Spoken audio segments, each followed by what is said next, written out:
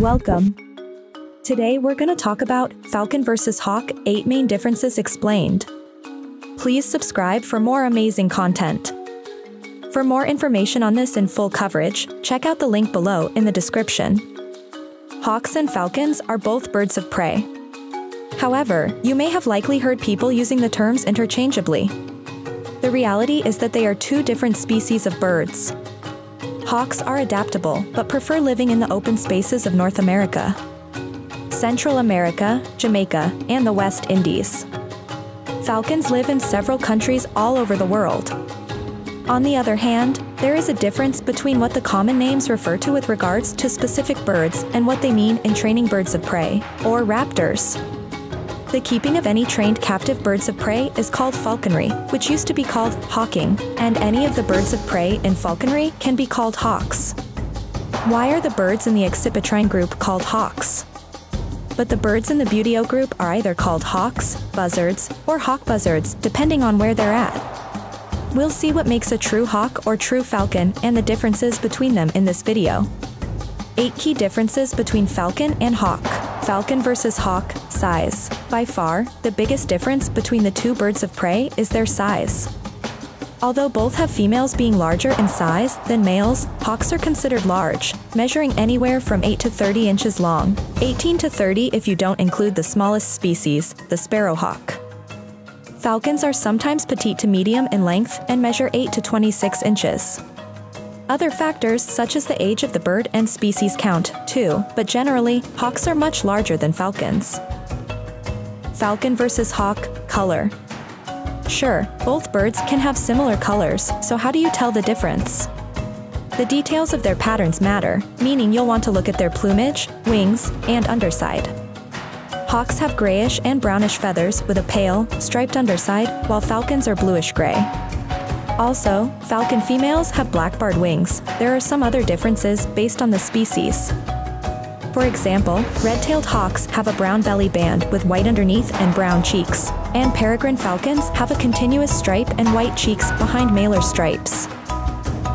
Falcon versus hawk, wings. Another huge indicator of difference is the unique features of their wings. Even with a quick glance, you can see the hawk's wings are short, wide, and rounded, and the falcon's wings are long, slender, and pointed. Some hawk species, including eagles, have separated feathers on the ends, too. Falcon versus hawk, head shape. At first glance, you might think the hawk and the falcon have very similar head shapes.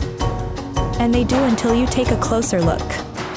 Examine the outline minus the beak and you'll see the hawk's head is slender and pointy, whereas the falcon's head is round and short. Falcon versus hawk, taxonomy. There are two groups of birds that are called hawks, accipitrine and buteo. Accipitrine includes sharp-shinned hawks, sparrowhawks, goshawks, buzzards, eagles, kites, and harriers.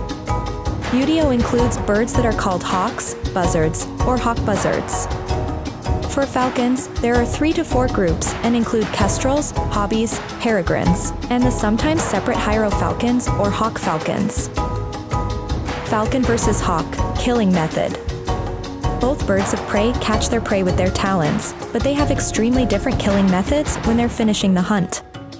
Hawks kill with their strong feet and large, sharp talons for tearing, while falcons have a serration or tooth on the side of their beaks to deliver the killing blow. Falcon versus hawk, nests. Hawks and falcons have nests that are in completely opposite locations.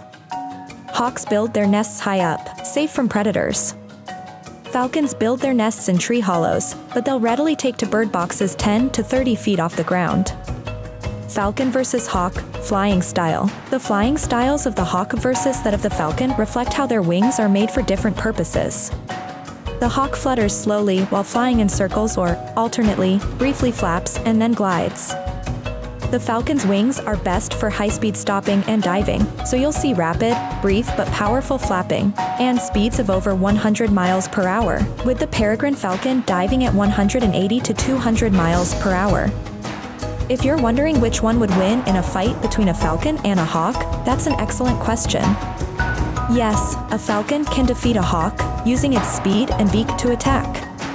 A hawk has a larger size and uses its sharp talons to attack. Thank you for checking this video.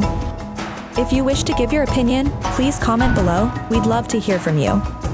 Be sure to hit that subscribe button and we will see you next time.